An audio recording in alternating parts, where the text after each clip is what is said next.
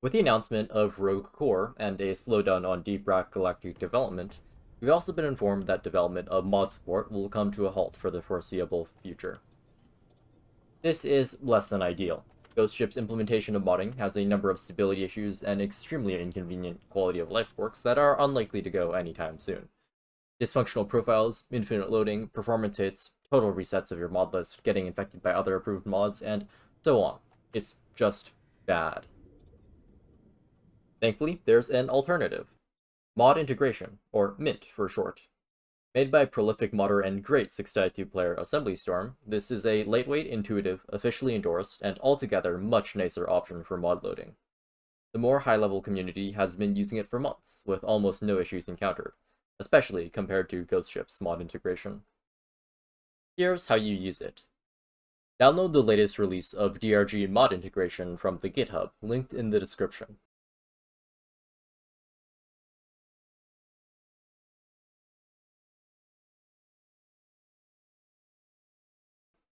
Extract the exe file from the archive and run it.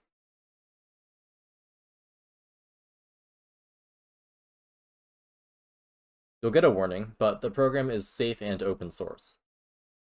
Add mods from mod.io by pasting mod.io or other pack links into the add mod bar and pressing enter. Upon doing this, you will be prompted for your mod.io OAuth token. To acquire an OAuth token, go to mod.io slash me slash access, or simply click on the OAuth link.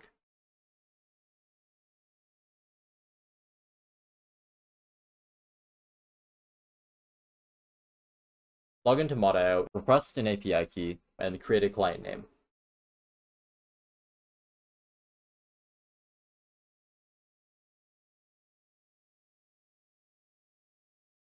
The client secret is not the token. Enter any arbitrary name into the new token name field with at least the read permission, and click the plus button to generate a token. Do not show this token to anybody. This token is only shown at the time of creation, but mod integration will save it for you. Input the token into DRG mod integration and save it.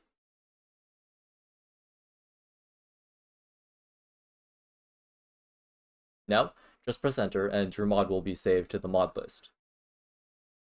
You can remove mods by clicking the minus sign next to it, or you can temporarily disable individual mods by unticking the slider and installing mods again.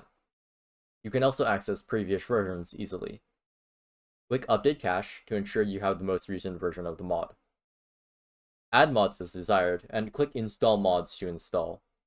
Mods must be installed while Deep Rock Galactic is closed. To run DRG with normal mod integration again, uninstall all mods using the uninstall mods button in DRG mod integration, and all your mod.io settings will be restored. If you're worried about the tedium of transferring all your mods, there's an easy solution. Assembly Storm's Better Modding Menu mod, also linked in the description. Simply subscribe to it in mod.io, and click the Copy All URLs button in the top right corner. Paste the resulting output into mod integration, and all your mods will be smoothly transferred over. This can take a second, especially if your mod list is long. Just give it a couple minutes. Now that you have Mint up and running, there are a couple usage tips and caveats to be aware of. Unlike official integration, Mint can only alter your mod list while the game is closed. This does come with the benefit of properly disabling mods, though, which official integration doesn't. And restarting your game is much less painful with Mint. Secondly, using this program will automatically tag any lobbies you host with modded in your lobby name. This is because Mint cannot properly tell when a mod affects gameplay or doesn't. However, you can join other people's lobbies with no issue, so long as you're not using a gameplay affecting mod, even if they're not running Mint. Other people can join you with no problem as well, and your lobby will show up along with all the other verified lobbies in the server browser, only tagged with modded. Mint can cause some issues if you have required by all mods which affect gameplay, especially as host. If the joiner doesn't have the mod, they may experience a variety of problems, from no issue at all to straight up crashes, depending on the level of change the mod creates. Mods like MCR may be the latter, but most minor gameplay changes should not be any significant issue. Custom difficulty, specifically, will not show updated entry costs to players who join without both Mint and custom difficulty enabled. This problem is not exclusive to Mint, though. Official integration has desync problems as well, but attempts to remedy it, sometimes unsuccessfully, through ModSync. ModSync is not currently implemented in Mint, though I'm told it may be in the future. Mods will not automatically update, so if you feel a need to do so, you'll have to do it yourself by opening the program and updating the cache. Mod integration does not currently auto-update itself, so in the future you may need to update your copy of Mint through the GitHub. And there you have it. Far better mod integration at your fingertips. If you have any issues, you can join the Practical DRG Discord, linked in the description below. Or you can submit an issue to the GitHub page, which is actively worked on by the wonderful Assembly Storm, who created this program. Please give him some love. He's done a lot for the modding community, from creating the vital custom difficulty to the mainstay build inspector or remove particles to sandbox utilities to now mod integration.